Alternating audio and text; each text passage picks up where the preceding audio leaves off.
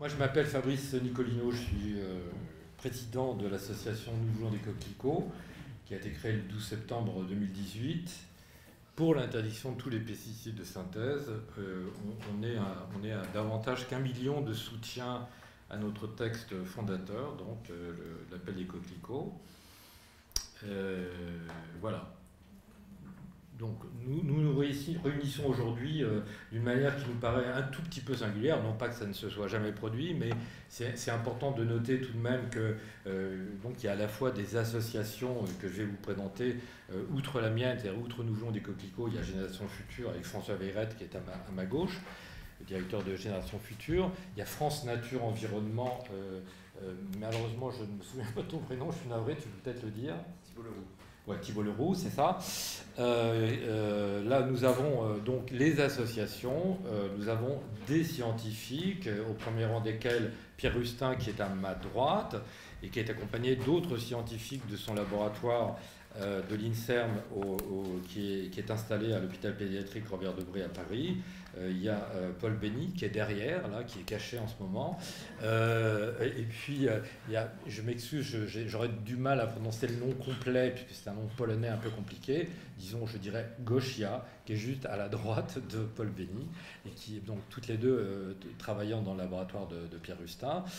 Donc je répète, des associatifs, des scientifiques, deux avocats, euh, maître Baron et maître euh, Laforgue, qui sont immédiatement à droite de, Pierre Rustin, et enfin des représentants de la nation, euh, des, députés, Madame Bateau est là, Monsieur Loïc Prudhomme est là, un sénateur, Joël Labbé, qui est, qui est là-bas à, l'extrême droite de la table, Loïc Prudhomme seulement de la table, bien entendu, et Loïc Prudhomme qui est, qui est donc à, sa droite. Voilà, j'espère n'oublier personne, mais si je... Qui est-ce que j'oublie Alexis, voilà, attendez, je suis absolument navré, j'ai oublié Alexis Corbière qui est député de la France Insoumise et qui nous rejoint. Merci à lui. Euh, donc, oui, c'est, enfin, nous, ça nous paraît, bon, c'est pas, c'est pas une première, mais ça nous paraît un peu singulier que tant de gens venus d'horizons si différents puissent se rejoindre sur un point euh, qui me paraît tout à fait décisif. Donc on va vous parler des SDHI, qui sont euh, une nouvelle classe chimique de pesticides, en l'occurrence des fongicides. Leur, euh, cible, c'est les, champignons pathogènes des récoltes. Ils posent de très très nombreux problèmes qu'on va évoquer dans le détail. moi, ce que j'ai envie, envie de vous dire en préambule, c'est que on est, mu, par quelque chose de très puissant, de très important. Euh, c'est euh, que pour une fois, on ne veut pas décompter les morts d'une catastrophe annoncée. On ne veut plus jouer ce, jeu qui est un jeu sinistre, délétère, un peu monstrueux sur les bords. On a beaucoup d'exemples comme celui des SDHI. Par exemple, rappelez-vous le, scandale du Mediator, alors qu'on savait parfaitement que ce médicament posait des problèmes de santé publique considérables. Le jeu des lobbies industriels a fait qu'on a, on a passé outre et qu'on compte désormais probablement des centaines de morts, je ne sais pas combien. Ce n'est pas un problème de comptabilité, c'est un problème vraiment tout à fait euh, essentiel de principe.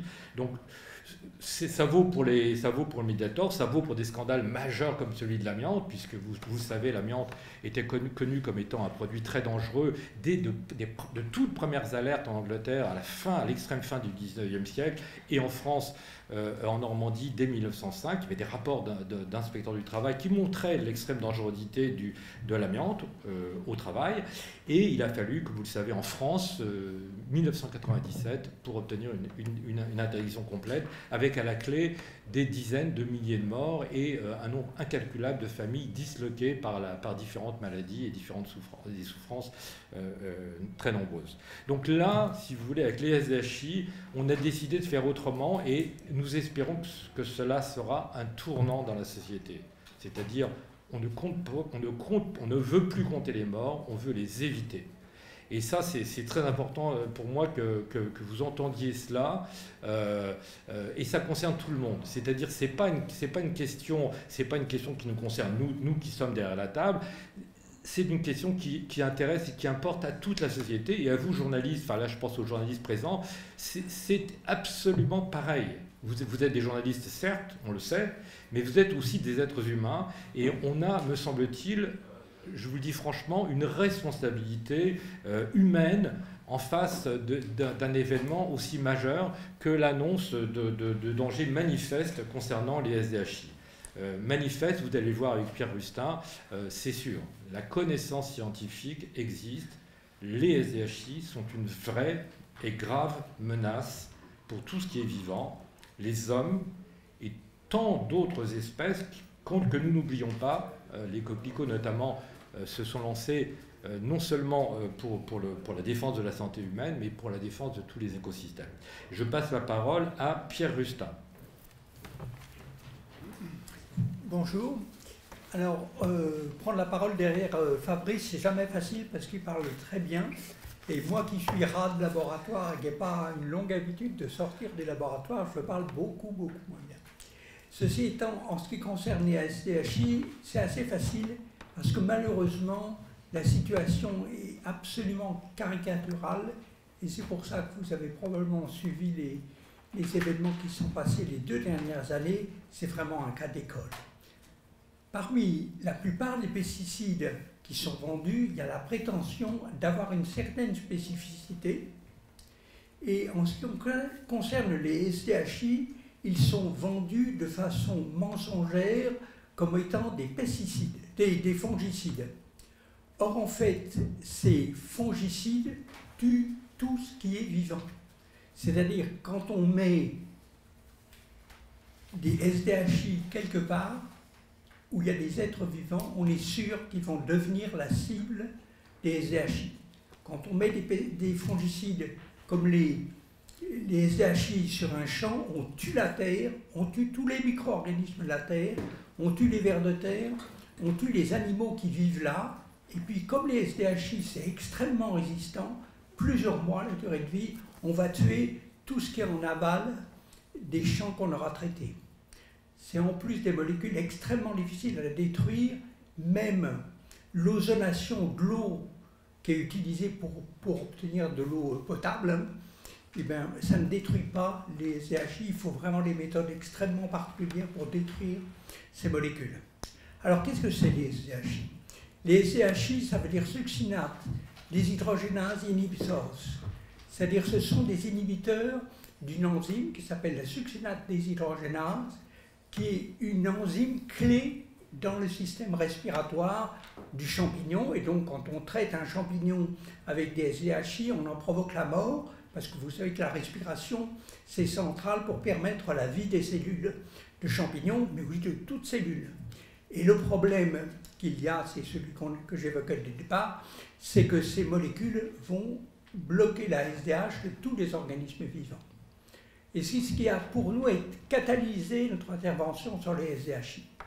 Parce que nous avons travaillé depuis 30 ou 40 ans à essayer de sauver quelques dizaines d'enfants qui avaient des maladies d'origine génétique qui touchaient les mitochondries.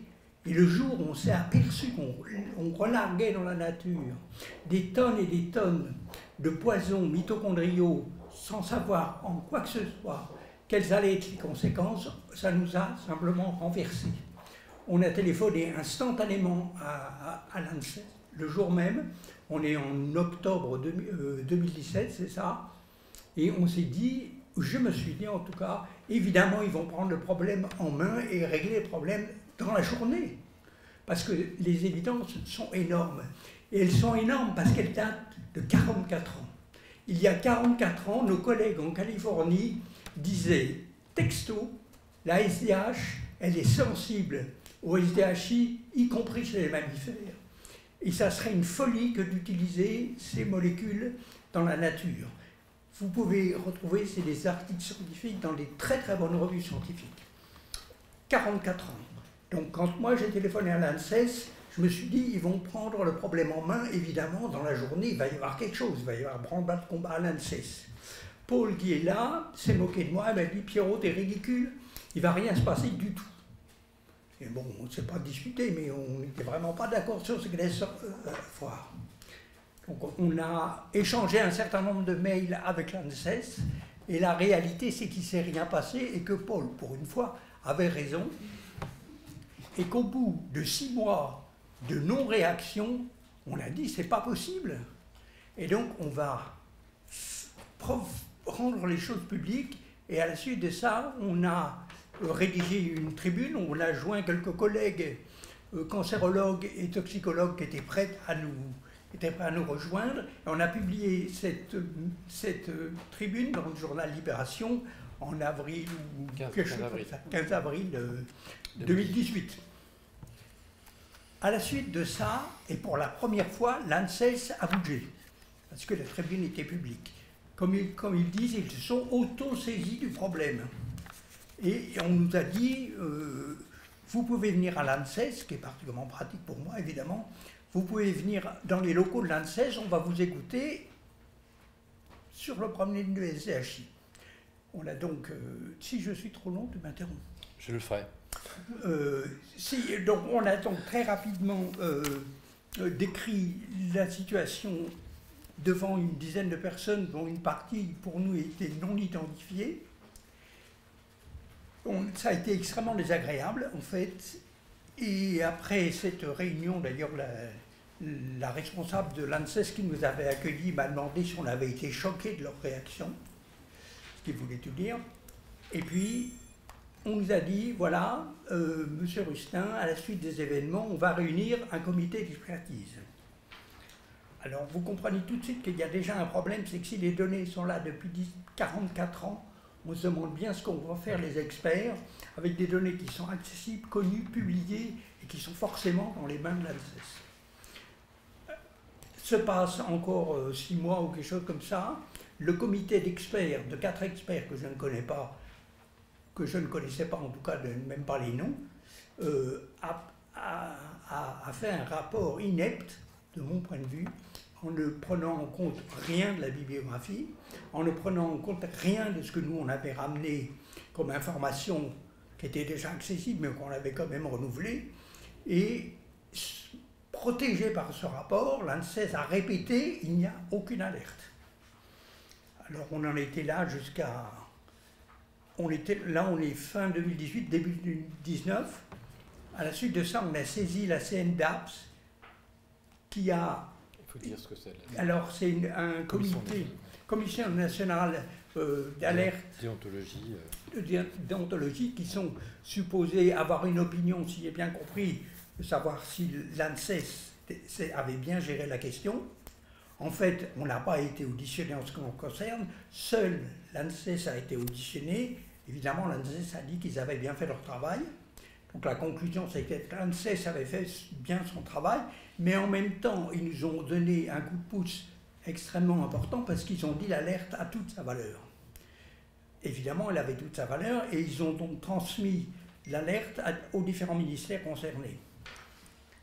À la suite de quoi, euh, il y a eu un espèce de flottement dans, l'ANSES, on ne peut pas dire autrement, qui ont passé la patate chaude à l'INSERM, qu'on dit, nous, maintenant, notre opinion sur les SDHI, on n'en a plus.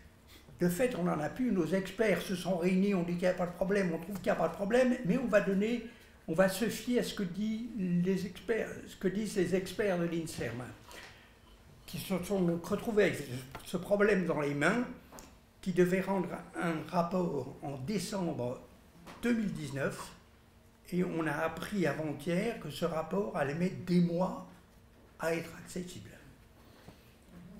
Voilà, on en est là pour le moment. Euh, en ce qui nous concerne. Oui, juste, je rajoute, deux, petits points. Enfin, c'est vraiment important de comprendre que euh, il y a un mystère dans cette histoire. Il y a un très grand mystère, parce que vous avez une agence publique de sécurité sanitaire, l'ANSES, qui est une agence euh, vraiment euh, fort bien dotée en fonds publics. Je crois qu'il y a 3200 agents, donc c'est très important. C'est l'agence de sécurité sanitaire des aliments, l'environnement du travail et d'autres choses encore. Elle est censée protéger la société française contre tous les risques dont ceux euh, liés à l'exposition aux pesticides.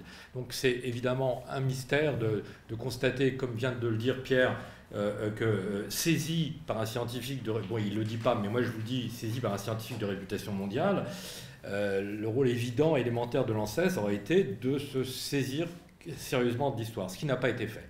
Alors moi j'ajoute en mon nom, puisque j'ai écrit un livre sur le sujet, donc je me suis évidemment intéressé de près à tout ça, l'ANSES est, vraiment de parti pris dans cette histoire. L'ANSES n'est pas neutre, l'ANSES est, encore moins au service de la société française. L'ANSES s'est entouré d'un groupe d'experts, ce qu'on appelle un GQ, c'est un, groupe d'experts, quatre personnes. Euh, euh, Pierre Rustin voulait faire, avait proposé de faire partie de ce groupe d'expertise. L'ANSES a refusé. C'est très singulier, parce qu'il faut bien comprendre que on parle de questions extrêmement pointues sur le plan scientifique. Et, et Pierre Rustin dispose de connaissances très très sophistiquées sur la question. L'ANSES n'a pas voulu la présence de Pierre Rustin.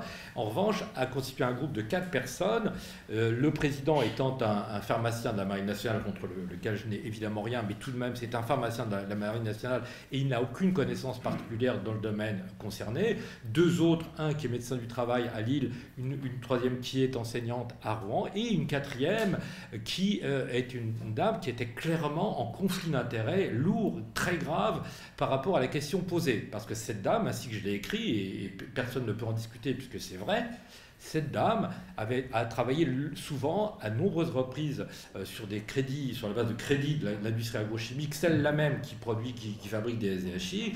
Euh, elle participe depuis un très grand nombre d'années à des colloques et des conférences internationales euh, qui sont financées par l'industrie agrochimique, celle-là même qui fabrique des SDHI. Et en, règle démocratique élémentaire, il est évident que ce, que ce groupe d'experts n'aurait pas, pas dû voir le jour. L'ANSES aurait dû évidemment mettre de côté euh, euh, le, cet, expert et aurait dû confier le travail à, des, de véritables experts euh, indépendants et non liés par des conflits d'intérêts. J'ajoute que l'ANSES, selon moi, est partie prenante parce que, euh, j'ai pu les démontrer aisément, elle, donne, aussi incroyable que ça puisse paraître, mais depuis de longues années, depuis une dizaine d'années, elle donne des conseils S-qualité avec des structures comme, euh, comme euh, Arvalis, bon je passe les détails, on va dire c'est un institut de l'agriculture industrielle qui est très impliqué dans la, dans la, vente et, l'usage des, des, SDHI. Donc elle, elle, publie des notes communes destinées aux agriculteurs sur les SDHI pour leur donner des conseils d'utilisation des SDHI l'ANSES engage notre nom à tous. Je rappelle que c'est une agence publique payée sur fonds publics. Elle s'autorise depuis 10 ans donc euh, à, donner des conseils aux agriculteurs pour l'usage des SDHI. Donc vous comprenez bien qu'une agence qui est à, ce point engagée dans la défense du système des SDHI avait fort peu de chances d'ouvrir la, voie à une véritable interrogation sur les dangers des SDHI. Et comme vient de le dire Pierre, on en, était, on en, était, on en est toujours à ce point d'ailleurs de l'histoire. Euh, il y a un blocage total. D'un côté, la science qui cherche et qui trouve. Hein, l'exemple aussi de Pierre est, probant, puisqu'avec Paul euh, et d'autres d'ailleurs, vous avez signé une, étude assez retentissante dans la revue scientifique Plus One au mois d'octobre 2019. Euh, qui montre clairement que les SDHI s'attaquent aussi bien aux vers de terre qu'aux hommes, euh, et chez les hommes davantage à ceux qui sont déjà malades, par exemple de malades d'Alzheimer, qui sont davantage menacés encore par les SDHI que les gens qui sont en bonne santé. Donc tout ça, tout ça forme un tableau qui est assez déprimant et qui est en tout cas révoltant on en est là, et c'est pourquoi, et là je vais passer la parole, à Maître Laforgue et Maître Baron, on, a décidé, nous avons tous décidé ensemble euh, de déposer un recours juridique devant le tribunal administratif de manière à ce que les autorisations de mise sur le marché, dont je précise qu'elles sont le fait de l'ANSES, aussi incroyable que ça puisse paraître, l'ANSES euh, donne des autorisations de mise sur le marché, donc elle donne le sésame commercial qui permet à un industriel de mettre sur le marché un pesticide, et d'un autre côté est censé nous protéger et est censé retirer cette autorisation. Parce que c'est elle qui donne l'autorisation, mais c'est elle qui les retire. Autrement dit, vous, mettez cette agence publique dans, l'obligation de se dédire si elle, devait euh, euh, renoncer à l'usage des SDHI. Donc recours juridique, Maître Laforgue et Maître Baron vont vous l'expliquer. Merci Fabrice. Oui, bonjour, donc François Laforgue, Gamine Baron. Donc on intervient donc pour les, associations dans, cette affaire un peu sensible. Et euh, donc aujourd'hui, on engage le, processus euh, judiciaire et on commence par euh, une première lettre qu'on adresse à l'ANSES qui part aujourd'hui et qui est une lettre de demande de retrait de l'autorisation de mise sur le marché, une demande d'abrogation de la décision d'autorisation de mise sur le marché pour trois produits. On commence par trois produits, mais bien évidemment, vous l'avez compris, ça concerne tous les produits à base de SDHI, le recours portera sur des produits fabriqués par Bayer, le Keynote, K-E-Y-N-O-T-E, et l'Aviator X-Pro et également un produit euh, fabriqué par euh, BASF qui est le Librax, L-I-B-R-A-X. Donc nous allons, euh, pour ces trois produits, adresser à l'ANSES des, courriers. Ce sont des produits, je parle sous le contrôle de Pierre Justin, de, de, de dernière génération qui sont particulièrement dangereux parce qu'ils s'attaquent aux cellules aux cellules humaines et euh, au complexe 2, donc euh, la SDH, mais également un autre truc qui avec un terme particulièrement par, barbare. Par rapport aux anciens SDHI, ces SDHI de nouvelle génération ont perdu la spécificité vis-à-vis du complexe 2 qui est l'autre nom de la SDH. Ils inhibent aussi le complexe 3 dans la chaîne respiratoire qui est composé de 5 complexes. Voilà, donc ça attaque fort. Euh, et du coup, euh, ce que ce que j'ai cru comprendre à la lecture des différents documents scientifiques euh, qu'on m'a remis, c'est que ça avait des répercussions sur la vie elle-même. C'est-à-dire, à partir du moment où on s'attaque à fonction respiratoire, à la chaîne respiratoire de mitochondrie, et donc qui est la base de la cellule humaine, et eh bien on s'attaque à, à l'être humain, et, et, ça engendre, et ça engendre tout un tas de maladies différentes, que sont des maladies neurodégénératives comme la maladie d'Alzheimer, Parkinson des neuropathies périphériques, euh, des épilepsies, euh, des, retards de croissance chez les jeunes, puisque quel que soit l'âge de la personne, eh bien, elle peut être impactée par cette, par cette atteinte. Euh, voilà. Et donc, du coup, ce que nous faisons, nous avocats, eh bien, nous allons, nous allons engager ce recours en deux étapes. Donc première étape, nous, adressons cette lettre à l'ANSES demandant le retrait de ces autorisations de mise sur le marché. En l'absence de réponse dans un délai de deux mois, on saisira le tribunal administratif de Lyon, qui est le lieu du siège de ces entreprises. Et si euh, l'ANSES nous répond euh, rapidement, euh, et si la réponse est défavorable, eh bien on aura également deux mois pour saisir ce tribunal administratif. Voilà, donc le calendrier procédural, c'est euh, dans quelques semaines, nous saisirons euh, le tribunal administratif si nous n'avons pas de réponse favorable de l'ANSES. Mais vous comprenez bien que les études sont particulièrement précises sur la dangerosité de ces produits. il y a aujourd'hui un appel de 400, 450 scientifiques et autres vous allez revenir. Bon. bon, bref, il y a des éléments qui nous permettent de, penser que l'ANSES devrait retirer euh, ses autorisations de mise sur le marché sans qu'on aille au contentieux. Pour vous éclairer encore plus, euh, nous avons, avec euh, Génération Future ici présente, engagé il y a deux ans un recours contre une mise sur le marché de produits à base de sulfoxaflore, qui est ce produit dit tueur d'abeilles, hein, de la famille un peu des néonicotinoïdes ou apparentés. Et nous avons obtenu en référé, c'est-à-dire dans une procédure d'urgence, la suspension de la mise sur le marché de ces produits. Et ensuite, sur la procédure au fond, nous avons obtenu l'annulation de l'autorisation de mise sur le marché en 2019, en novembre 2019 sur la base d'un principe fondamental qui est le principe de précaution, qui trouve également à s'appliquer ici aujourd'hui, qui est un principe de droit européen, mais également euh, de droit interne, qui est un principe très important. Et le Conseil d'État a validé toute notre argumentation, puisqu'en 2018, il a rendu un arrêt qui nous a été favorable dans cette affaire de sulfoxaflore, donc sur la base du principe de précaution. Voilà un petit peu euh, à la fois euh, l'objet de la demande, donc bien évidemment, si euh, nous obtenons gain de cause, eh ces produits ne pourront plus être commercialisés euh, en France. Hein, ce qui est l'objectif. Bien évidemment, ce qui vaudra pour ces produits vaudra aussi pour les autres parce qu'on fera bien évidemment d'autres recours s'il le faut pour les autres produits contenant des SDHI.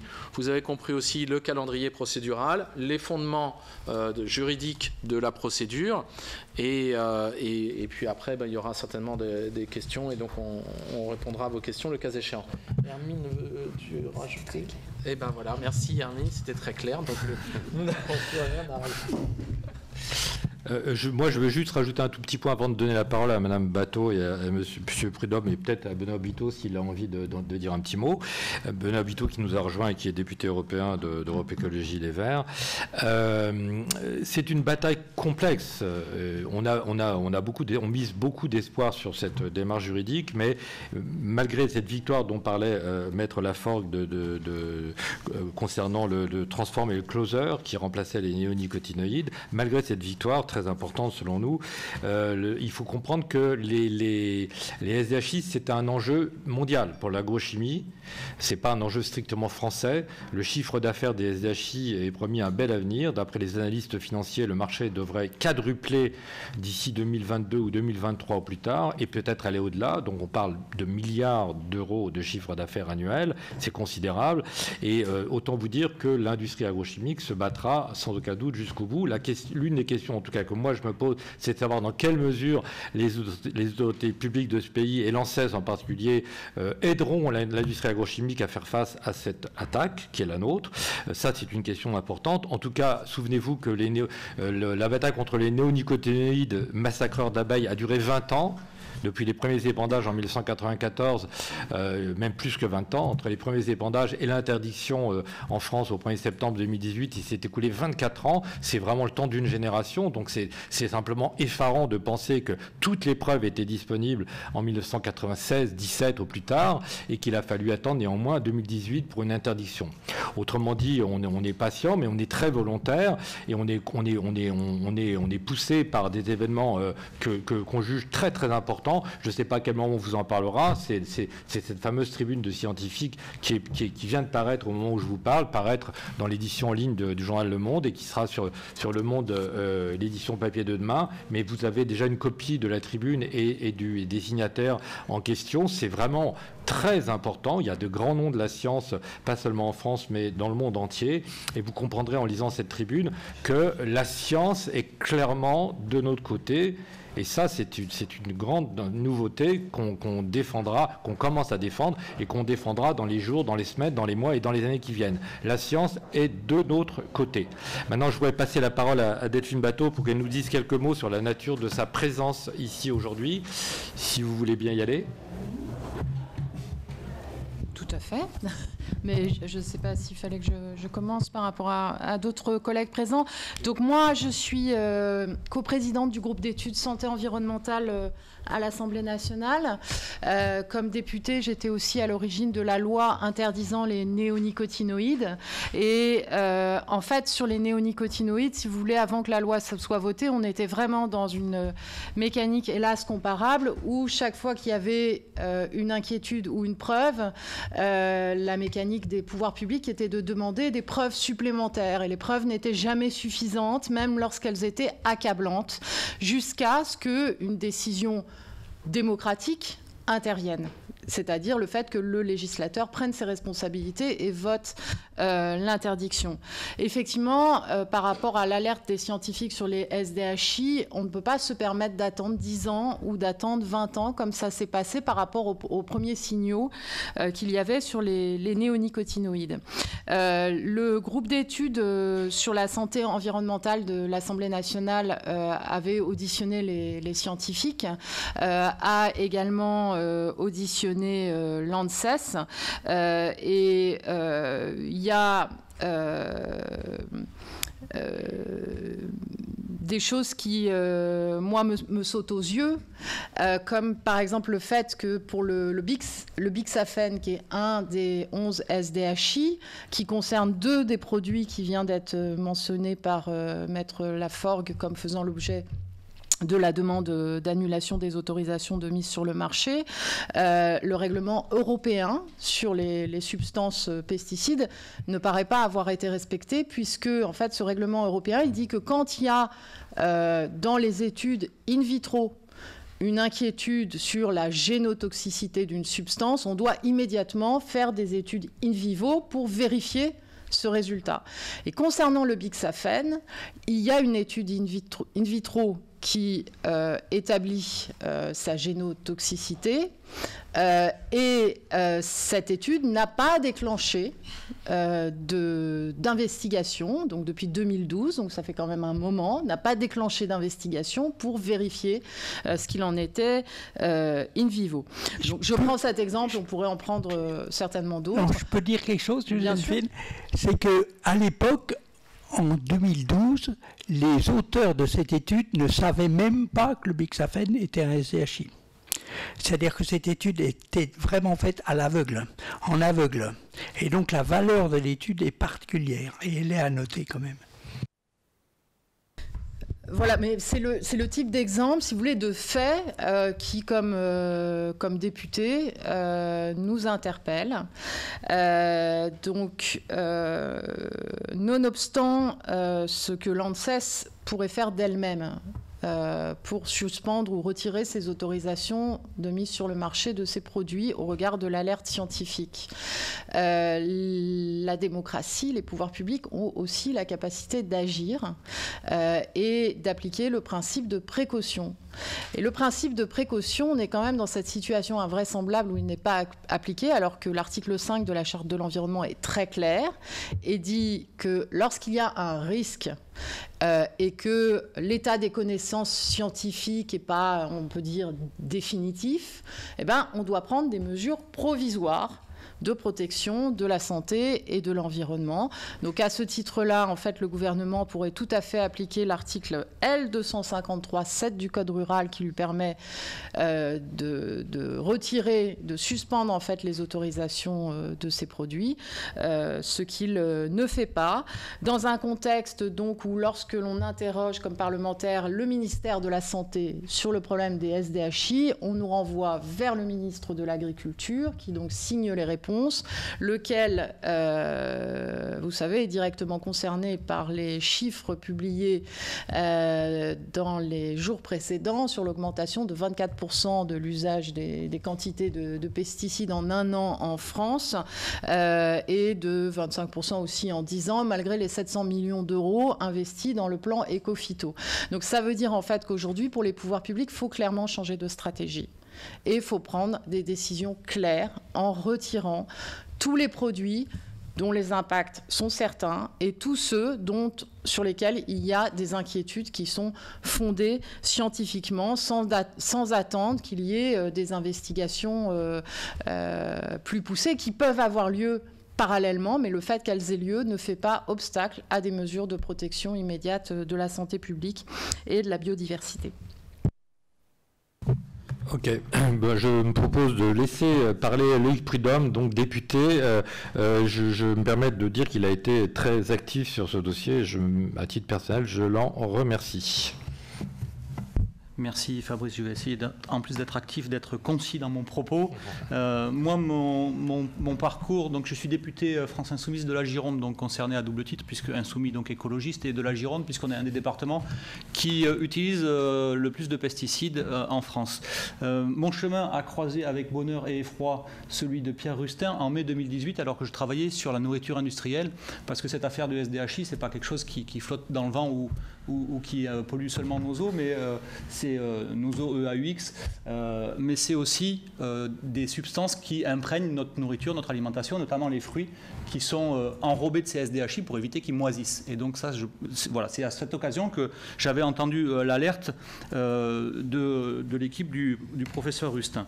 moi, ce qui me pose problème dans cette affaire-là, c'est plus généralement l'attitude de l'ANSES, qui est une attitude de déni ou euh, de minimisation. Et moi, ça me pose question en tant que député, euh, quand on a affaire à une agence publique qui, comme le rappelait Fabrice Nicolino, a pour objectif théoriquement de nous protéger, de protéger euh, la population. Deux exemples. sur l'affaire de la toxicologie réglementaire derrière laquelle s'abrite l'ANSES pour nous dire que tout va bien. Et ça, c'est Paul Bénit qui me l'a expliqué de manière très claire et d'autres lanceurs d'alerte. l'ANSES nous dit pour qu'un produit soit cancérogène, il faut qu'il soit génotoxique. Or, ce qui a été prouvé dans le cas des SDHI, c'est qu'il y a 10 autres critères, hormis la génotoxicité, qui font que les SDHI ont un, effet de cancérogénicité. Et ça, c'est euh, être volontairement aveugle que euh, d'écarter cette question d'un revers de la main. Et ça, je pense que c'est très grave. Euh, et ça, c'est donc une stratégie pour minimiser l'impact de ces SDHI.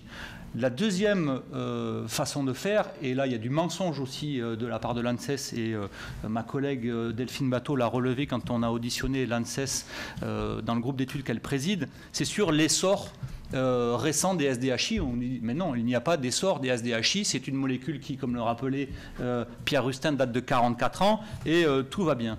J'ai ici un tableau des substances actives qui sont en cours d'homologation au niveau de l'Union européenne. Il y a huit nouveaux fongicides qui sont à l'étude au niveau de l'Union européenne, dont quatre sont des SDHI. C'est-à-dire que dans les nouvelles molécules, 50% euh, sont des SDHI. Sachant qu'avec une substance active, j'en ai pris une au hasard que j'ai euh, euh, checké rapidement, qui s'appelle le. où est-ce que je l'ai noté? Le fluxapyroxade. C'est une substance active, mais derrière, c'est 30, 30, préparations commerciales qui vont envahir ce marché florissant des futurs fongicides. Et donc ça, c'est nous dire que non, il n'y a pas d'essor, c'est euh, vraiment euh, problématique quand on est censé protéger la, santé des populations. Mais plus largement, l'attitude de l'ANSES face au sujet Je les ai euh, plusieurs fois auditionnés dans le cadre de ma mission, de ma commission d'enquête sur la nourriture industrielle, sur l'histoire des coformulants par exemple, où je les interrogeais sur le fait que quand ils étudiaient des préparations commerciales à base de glyphosate, euh, ils en déduisaient que tout allait bien, oubliant les coformulants qui parfois eux-mêmes sont cancérogènes. Je pense au benzène. Mais non, il n'y a pas de problème, et ça, les auditions sont publiques et filmées. Vous pouvez retrouver ça sur, euh, sur le site de l'Assemblée nationale. Également sur l'affaire euh, du jugement sur le Roundup 360, jugement du tribunal administratif de Lyon, où en audition, je pose la question à l'ANSES et où son président, Roger Genet, me dit Mais cette décision, elle est, elle est inepte, voilà, et on va l'attaquer.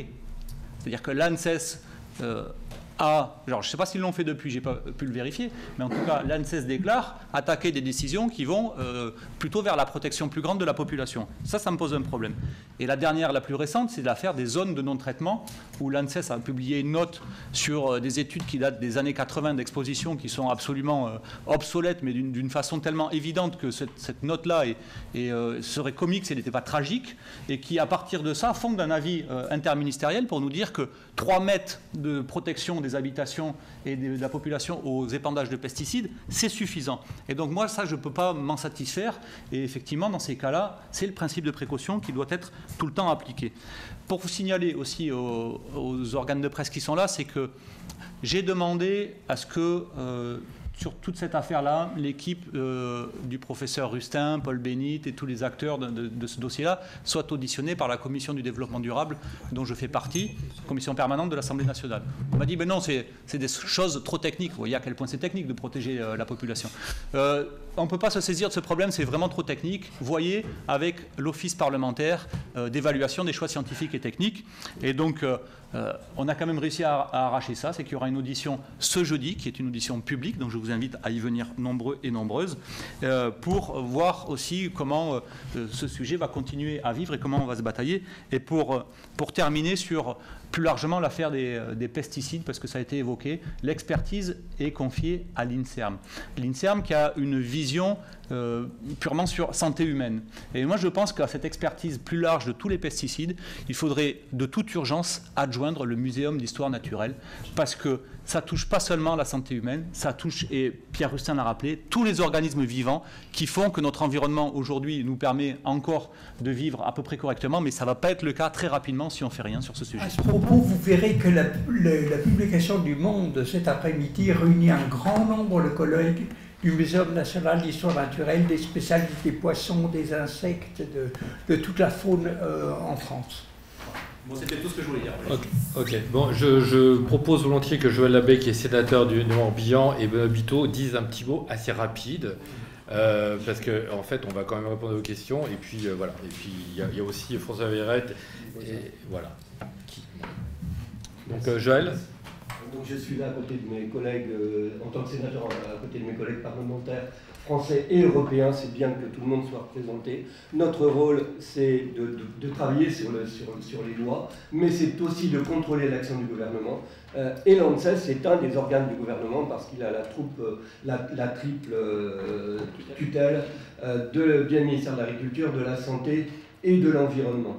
Alors, il se trouve que je suis l'auteur de la loi Labé, celle qui interdit les pesticides sur l'ensemble des espaces publics depuis le 1er janvier 2017 et dans les jardins domestiques depuis le 1er janvier 2019, se fondant sur des questions de santé humaine et de biodiversité. Il y avait des trous dans la raquette sur lesquels on travaille depuis un an. On préparait donc les terrains de sport, les cimetières, les, espaces des, des, hum, copropriétés enfin, et, autres. Euh, et il se trouve que là, la ministre de l'Environnement suite aux conclusions catastrophiques du plan dit, s'est dit il faut faire quelque chose, et donc elle a dit tout ce qui est espace public, on va interdire partout. Donc évidemment on salue cela, mais là on ne touche pas l'agriculture encore, d'une part, mais d'autre part on attend de voir. Alors quand on a travaillé sur, sur les, les, interdictions sur les terrains de sport, on a eu une mobilisation du monde du football professionnel notamment, parce qu'on avait appris, euh, grâce aux travaux de Pierre Rustin d'ailleurs, qui s'était exprimé dans l'équipe, que les temples du football professionnel, que sont les grands stades, sont bourrés d'SDHI. Euh, l'entraîneur de Nantes, Christian Gourcuff, m'a confirmé qu'il joue sur des terres mortes. Euh, par contre, il ne connaissait pas la, question des pathologies. Alors, pour avancer là-dessus, on va rencontrer le syndicat, les syndicats des joueurs professionnels qui sont là pour défendre les intérêts des joueurs, et c'est souvent les intérêts ultra pécuniers. Mais là, ça va être pour défendre la santé, et on va demander à Pierre Rustin de bien vouloir nous assister pour cette euh, audition des, syndicats de joueurs professionnels. Voilà. Merci. Merci. Benoît Très rapidement, déjà merci. Euh, Fabrice d'être à l'origine de, cette, de cette conférence de presse. Je suis très honoré d'être là. Donc, euh, je me présente rapidement. Je suis député européen. Euh, je siège dans la commission agricole, euh, élu écologiste depuis le mois de mai 2019. c'est pas accessoire, je suis aussi paysan et c'est peut-être de ça que je vais parler.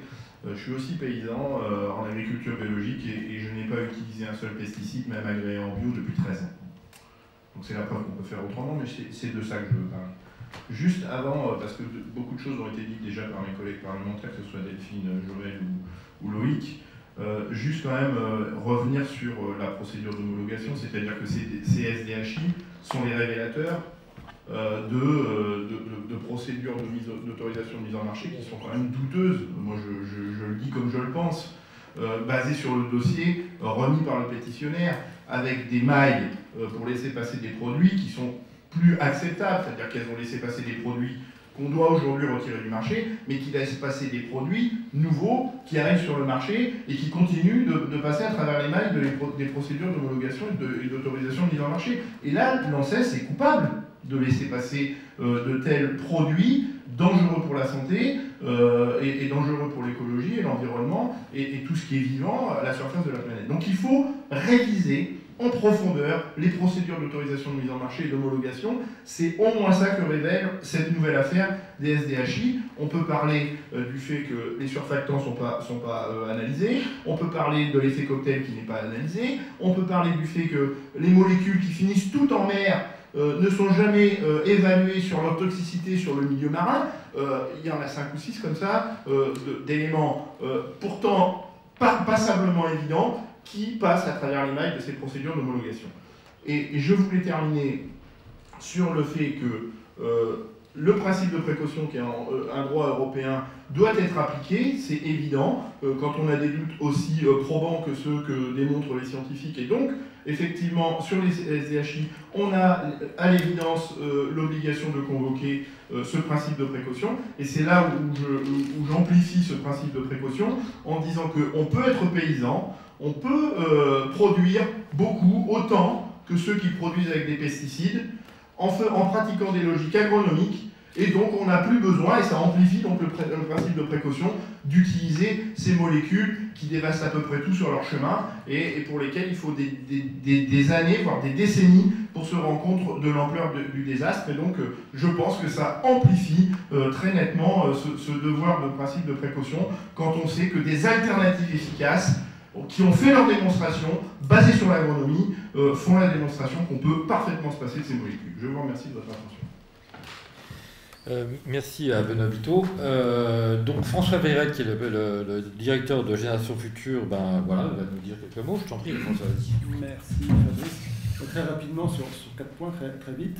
Le premier point, c'est que je suis ravi qu'on soit tous là ensemble, l'association, élus, etc avec le soutien d'un cabinet d'avocats efficace, à porter euh, le fer dans, dans, ce dossier-là. Euh, je me rappelle que dès avril 2018, on avait écrit à euh, différents ministères pour demander que là, ils, fassent retirer le produit par l'ANSES. On n'a pas eu de réponse. Là, aujourd'hui, on verra bien si on a une réponse ou pas, mais de toute façon, si la réponse est négative ou si on n'a pas de réponse, on ira devant le tribunal. alors, c'est bien que je parle juste après Benoît, parce que je vais vous parler aussi du niveau européen. tout ce qui est dit, bien sûr, est vrai. Euh, mais il y a d'autres soucis sur l'évaluation des pesticides qui dépassent même la question des SDHI, mais qui expliquent aussi en partie ce qui se passe là aujourd'hui. Euh, premièrement, c'est la lenteur d'action. Aujourd'hui, un, produit qui est cancérogène avéré ou probable, il doit être retiré du marché européen. Ça fait partie des critères d'exclusion du, du, nouveau règlement de 2009. Eh bien, il y a une, une chose absolument ahurissante, c'est que même si aujourd'hui on a une certitude, une reconnaissance par l'agence européenne de cette carcinogénicité, il faut attendre que le produit revienne à homologation pour le retirer réellement, ce qui est quand même aberrant. Euh, un gouvernement national pourrait prendre les choses en main et dire on n'attend pas qu'un an, deux ans, cinq ans ou huit ans que le produit revienne à autorisation. On protège la santé publique d'abord et, on devance euh, ce rendez-vous pour le retirer. La question Troisième point, des études scientifiques. Aujourd'hui, effectivement, Fabrice l'a bien dit, la science est de notre côté, mais ça ne vous rappelle pas un autre dossier, ça? Le dossier du glyphosate, c'est exactement la même chose. Quand on regarde la science universitaire, les études publiées euh, par les, chercheurs académiques, eh sont, euh, dont la revue a été faite par le Centre international de recherche sur le cancer, on avait un poids écrasant en faveur donc, de la carcinogénicité du glyphosate. Et le cirque qui est une, branche de l'Organisation mondiale de la santé, a dit oui, pas de problème, c'est un cancérogène probable pour l'homme, certitude sur l'animal, et puis des données partielles épidémiologiques sur l'homme. Il ne s'est rien passé au niveau des agences, de toutes les agences du monde, parce que le travail des agences, ce n'est pas un travail purement scientifique. C'est un travail qui est fait à partir de sciences, mais avec aussi de l'influence politique, puisqu'il dépend directement des gouvernements et de la Commission, et en même temps qui est basé sur des études scientifiques qui sont souvent très anciennes. Ça a été évoqué tout à l'heure. L'étude de référence dans les dossiers des pesticides au niveau européen et les molécules, les matières actives, c'est au niveau européen qu'elles sont gérées, c'est les études de l'industrie. Toujours. Pourquoi? On l'a montré dans plusieurs dossiers qu'on a publiés à Génération Future ces années passées, parce que les études universitaires, qui pourtant devraient être dans le dossier, n'y sont la plupart du temps pas. On a publié un truc il y a quelques mois, on montrait que sur quelques molécules qu'on a étudiées, il n'y avait que 15% des études universitaires qui devaient être dans le dossier qui étaient. Toutes les autres étaient dégagées.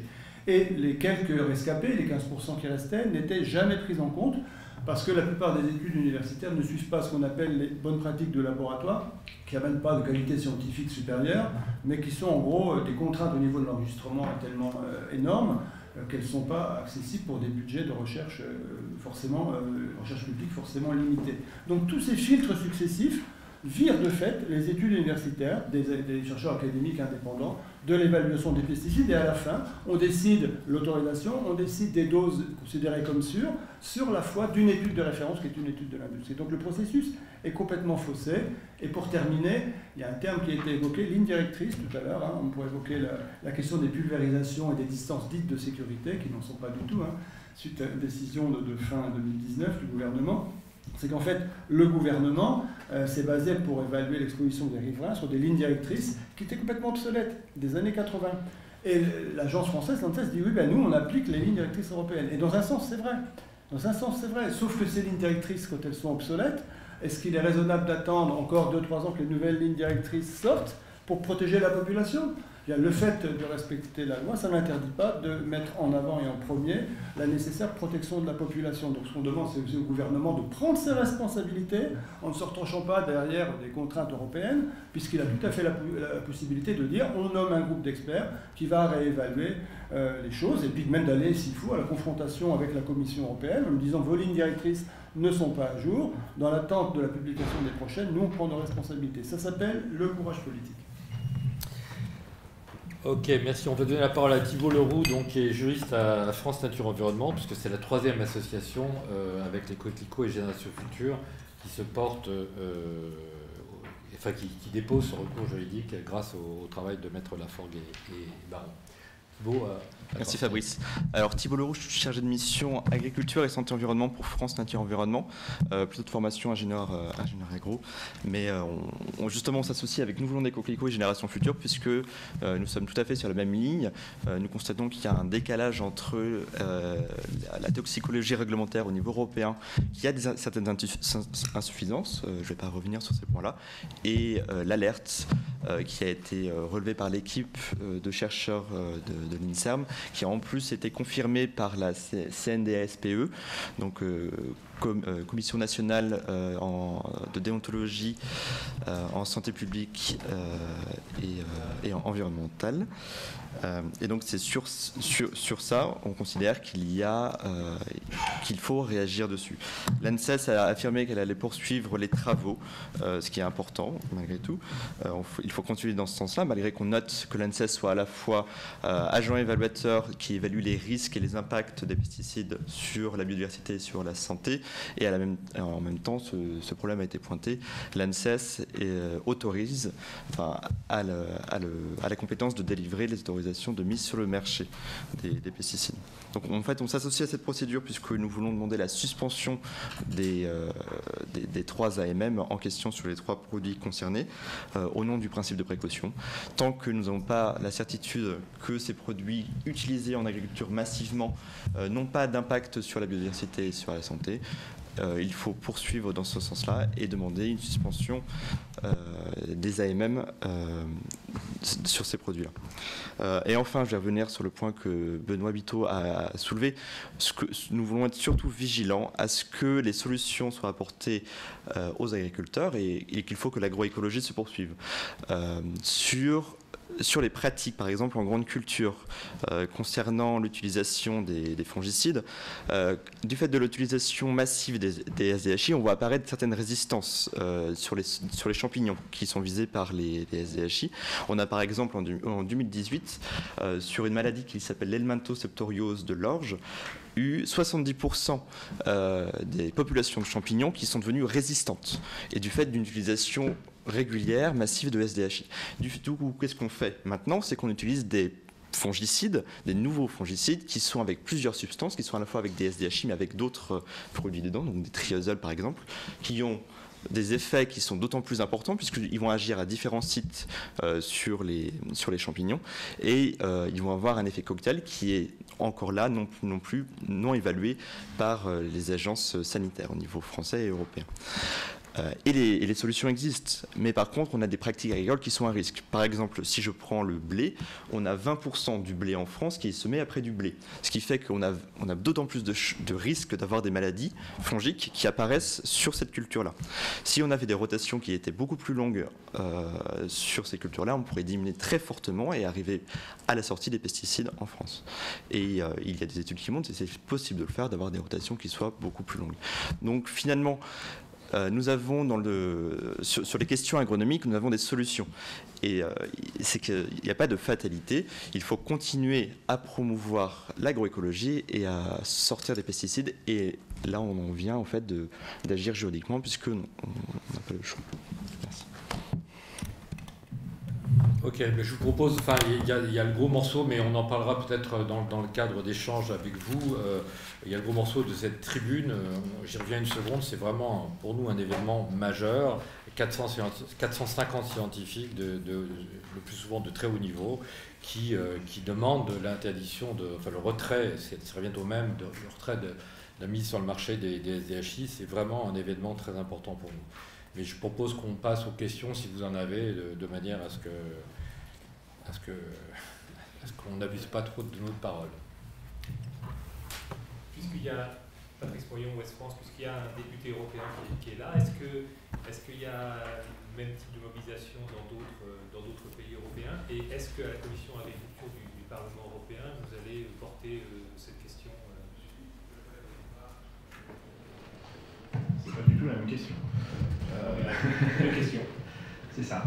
Euh, donc, euh, effectivement, il y a d'autres pays que la France qui sont concernés. On voit ce qui vient de se passer avec le Luxembourg sur le glyphosate. On a des pays qui sont de plus en plus attentifs à l'usage des pesticides. On, a, failli en Autriche réussir également l'interdiction du, glyphosate bon, ça a tergiversé, c'est remis s'inédier, mais, mais, on voit bien que, cette question des pesticides traverse au-delà de la France, au-delà des pays historiques, euh, j'ai envie de dire, de l'Europe, euh, également des pays euh, qui sont plus à l'est de l'Europe et qui s'interrogent sur l'utilisation massive des pesticides. Donc c'est un vrai sujet qui traverse à peu près toutes les nations du, continent européen. sur la commission agricole, se rappeler comment, enfin, qui siège dans cette commission agricole, on, a affaire dans cette commission agricole, on ne va pas se voiler la face, à des, à des attitudes très conservatrices euh, sur euh, les, pratiques agricoles. Et donc c'est très délicat. Euh, alors bien sûr, on, lève les lièvres et, des, groupes comme ceux, où siègent les amis de, Loïc et bien sûr le groupe des Verts lève, lève ce, lièvre régulièrement. La difficulté, c'est que vous connaissez comment fonctionnent les majorités au Parlement européen et, au, sein de l'Union européenne, et que tant qu'on n'arrive pas à dégager une majorité, on n'arrive pas à faire avancer les dossiers. En revanche, ce qui s'est passé euh, lors des dernières élections européennes montre que ces sujets sont des sujets qui euh, sont très présents dans les attentes sociétales. Et les, 900, euh, 751 députés qui siègent aujourd'hui au, Parlement européen représentent l'ensemble de, cette société civile.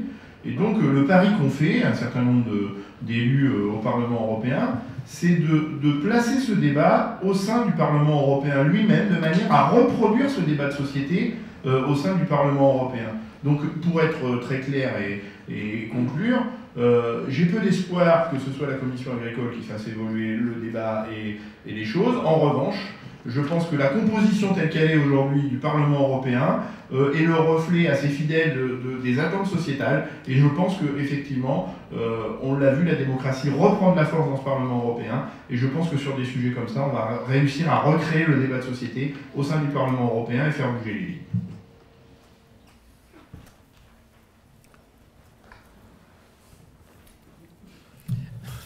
N'hésitez pas à poser une autre question, par pitié. Oui, une question pour euh, Pierre Est-ce que, vous avez un. Oui, avec elle. Est-ce que vous avez, euh, parce que vous êtes chercheur à l'INSERM, comment est-ce que, est que vous êtes soutenu justement par, la structure euh, dans laquelle vous, faites vos recherches dans, ce combat que vous portez aujourd'hui? Alors la question est en plusieurs volets. La première chose, c'est qu'en fait, je suis directeur de recherche au CNRS, qui travaille dans un laboratoire INSERM. Le CNRS est totalement derrière nous. Ils vont d'ailleurs sortir cette semaine ou la semaine prochaine un nouvel article concernant les SCHI et le problème posé par ces molécules. Ils avaient déjà fait sur François. Pardon? Déjà Oui, mais là ils vont le faire avec encore plus de force apparemment. Et par contre, en ce qui concerne l'INSERM, on a pas un problème, parce que l'INSERM nous a dit, Monsieur Rustin, vous pouvez dire ce que vous voulez, vous êtes absolument libre de dire ce que vous voulez, ce qu'il avait l'air de dire quelque part, qu'ils étaient trouvé que ce qu'on disait avait quand même une certaine valeur, et en même temps, on avait la non-autorisation de recevoir les télévisions dans notre laboratoire. Ce qui était, qui était un, un message complètement incompréhensible. Il se trouve qu'une partie de, de, de l'institution INSERM est, mêlée à l'histoire des pesticides. Il faut bien réaliser qu'on parle de l'ANSES ici, et on a raison, mais l'ANSES, c'est en partie une partie de la science qui sont les toxicologues officiels. Et il y a un, problème, de la même façon qu'avec l'ANSES, pour ces gens qui ont été impliqués dans le, l'émergence des pesticides, de l'utilisation des pesticides, qui se retrouvent maintenant englués dans ça. Donc, on a le même problème de se déjuger pour une partie des spécialistes qui sont experts à l'INSERM. De nouveau à l'INSERM, je n'ai pas été consulté et je ne fais pas partie des experts retenus, ce qui est absolument, compte tenu du contexte, étonnant pour le moins et alors, je, finis, l'INSERM n'arrive pas à se dépêtrer du problème. Ils devaient rendre leur jugement sur les SDHI en décembre et on, a appris ce que je disais tout à l'heure, que ça allait être dans plusieurs mois. très honnêtement, pour un scientifique qui a l'habitude de, de, manipuler la bibliographie, en une semaine, il a évidemment une conclusion sans discussion possible compte tenu de la qualité des, des, publications, je ne parle pas des nôtres, qui sont accessibles, il n'y a aucun problème. Je voulais aussi ajouter une dernière fois, j'en profite pour dire une chose, en ce qui concerne les SDHI, sur tout ce qui est sur l'animal est absolument sans ambiguïté, que ce soit les poissons, les batraciens, les abeilles, les hérissons, tout un tas d'animaux qui nous qu'on connaît et qui ont été étudiés dans les laboratoires donnent la même réponse. Les SDHI sont catastrophiques pour le développement, pour les maladies neurologiques et éventuellement pour les cancers chez les rongeurs. J'ai répondu? Je, voulais savoir, là vous ciblez trois produits, euh, si j'ai bien compris, parce qu'ils sont de dernière génération. Combien est-ce qu'il y a, est-ce que vous avez une idée, un chiffre sur, au total, le nombre de produits utilisés en France? Il existe 152 préparations qui contiennent des EHI et il faut savoir que très souvent vendus, qui sont disponibles, que les SHI, je vous l'ai dit, bloquaient le complexe 2 de la chaîne respiratoire, que la plupart de ces préparations contiennent des strobilurines qui bloquent le complexe 3 de la chaîne respiratoire et donc ont évidemment des effets synergiques probablement catastrophiques. Et de nouveau, l'ANSES qui c'est son rôle, aurait dû aussi se saisir du problème des strobilurines et du complexe 3, qui est strictement le même problème que le complexe 2. C'est parfaitement conservé dans l'évolution, c'est probablement des molécules qui sont catastrophiques pour l'environnement. L'ANSES n'a absolument pas réagi, et Paul et Gauchat sont témoins, on a décrit ça. C'est leur problème de se saisir de ce genre de choses. Nous, on a, c'est pas notre boulot, quoi. Nous, on est, généticiens, on travaille sur les maladies de l'enfant, et on est amené à s'intéresser à ce problème qui est en fait pas du tout intéressant. Tout le monde sait que les SDHI bloquent la SDH et que c'est catastrophique. Tout le monde parmi les scientifiques. Euh, pardon, pourquoi vous, ciblez ces trois produits en particulier? Est-ce que ce sont les plus utilisés François, François, tu veux y aller? Non, Alors, c'est à, la, suite de, des discussions qu'on a eues avec les différents intervenants, en fait, il s'est avéré qu'on c'était une bonne idée de cibler des molécules qui sont, qui sont en devenir, qui vont occuper maintenant le premier plan des SDHI. Il faut savoir que les SDHI entraînent en permanence des résistances dans les champignons, que les, les, molécules dont on parlait il y a 10 ans sont plus celles qui sont employées en réalité dans les campagnes. Par exemple, le boscalide, qui est une molécule qui a été extrêmement employée en particulier dans les vignes, a perdu beaucoup du marché parce qu'il y a tellement de résistance que euh, euh, d'autres molécules se sont substituées. Le bixaphène et le fluxapyroxate sont parmi les molécules d'avenir, entre guillemets, du point de vue des firmes, et c'est particulièrement intéressant à étudier. Mais attends, vous voulez le retrait de tous les SDHI La plupart des SDHI ont des mécanismes identiques. Donc à terme, évidemment, l'idée c'est que l'édition euh, prise pour, trois mollets, trois préparations devrait s'appliquer à toutes. Oui, pour compléter la réponse, euh, si on obtient gain de cause sur ces trois, euh, sur ces trois produits en fonction de la motivation qui sera retenue par le tribunal, bien évidemment, la conclusion qui s'imposera à l'ANSES, c'est de retirer tous les produits qui ont les mêmes mécanismes.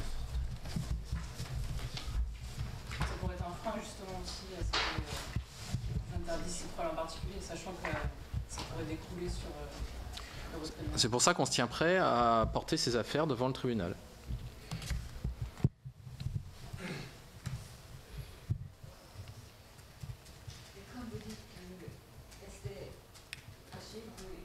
la dernière génération, ils, sont, ils ont été commercialisés Je dirais 4-5 ans. C'est ça, peut-être un peu plus, mais d'autres très récemment. Il y en a qui sont encore, comme euh, mon voisin le signalait, qui sont encore en phase 2. Il faut savoir que l'industrie agrochimique prépare en permanence des nouvelles molécules dérivées des mêmes molécules mères et qui sont prêtes dans les tiroirs Si on interdit une molécule, il va en sortir une autre. Si vous prenez l'histoire récente des azoles, on a interdit certains azoles à partir du moment où l'industrie avait déjà obtenu que d'autres azoles qui avaient exactement les mêmes problèmes euh, soient disponibles et, déjà obtenu des AMM. Donc il y a une espèce d'hypocrisie dans, ces molécules qu'on retire, mais qu'en fait on substitue systématiquement à d'autres molécules qui ont le même degré de toxicité quasiment.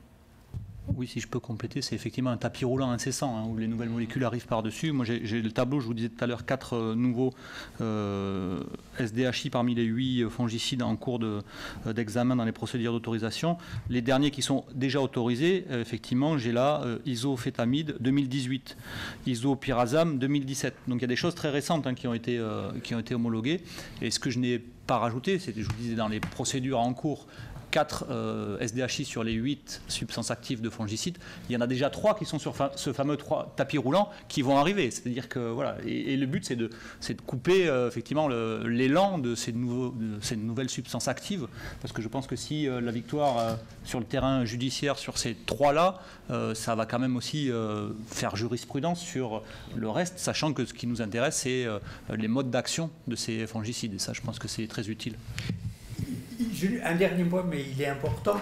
Le fait qu'on change en permanence de molécules SDHI fait que les études rétrospectives pour démontrer la responsabilité dans quoi que ce soit du point de vue pathologique chez l'homme est devenu impossible.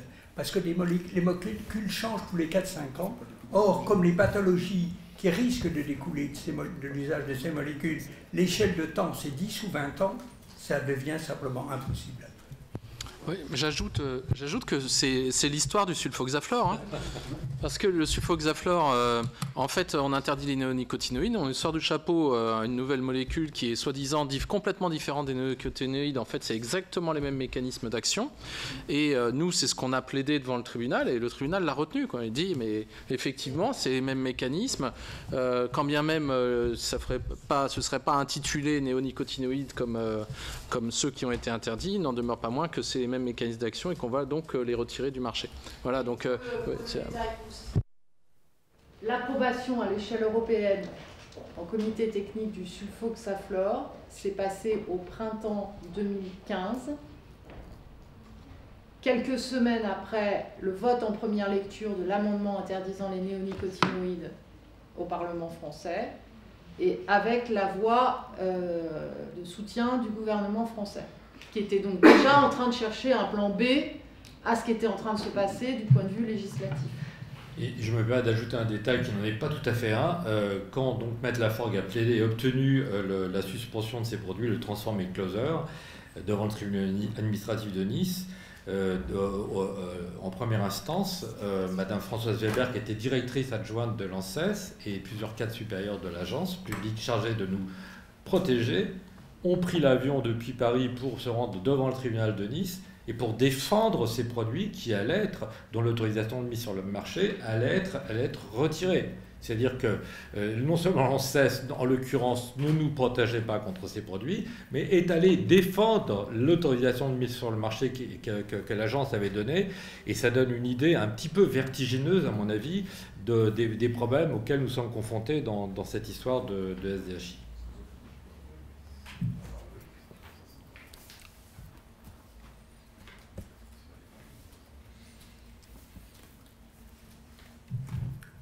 Bon voilà, écoutez, si c'est fini, c'est fini. Peut-être bah, on peut indiquer que sont, sont à votre disposition des, des fascicules où il y a à la fois l'alerte qui sort dans le monde en ce moment, les données scientifiques les plus récentes sur les SDHI et une série de questions auxquelles on a été amené à répondre depuis un ou deux ans et qui sont des questions très importantes concernant les SDHI. Oui, ouais, moi j'ajouterais que ça me paraît, enfin je n'ai pas du tout participé, je trouve ça très complet et vraiment très riche euh, comme euh, information. Et, euh, la, liste notamment, enfin c'est pas notamment d'ailleurs, parce que ce, ce, que vient de dire Pierre est très important, il y a vraiment des informations de nature scientifique, mais aussi la liste des 450 signataires est impressionnante. Vous verrez un petit peu la diversité des origines, des écoles, des, universités, des hôpitaux qui sont représentés en France et aussi à l'étranger. Et on se rend bien compte là vraiment d'une sorte... enfin, oui, d'une forme d'unanimité scientifique contre les SDHI. C'est vraiment très. On, vit un moment très important. Euh, ce moment, on pourrait le définir de la sorte. Euh, il y a une sorte d'évidence scientifique et euh, la question est de savoir si nos politiques, si sait, si le gouvernement, dont, Joël a, rappelé qu'il avait la tutelle par l'intermédiaire de trois ministères sur l'agence de sécurité sanitaire, si le gouvernement, nos politiques vont enfin entendre cette, cette, évidence scientifique ou bien, comme dans d'autres dossiers souvent tragique, laisser tomber et nous laisser face à, ce drame qui nous menace tous. Voilà. Je pense que c'est un moment vraiment crucial.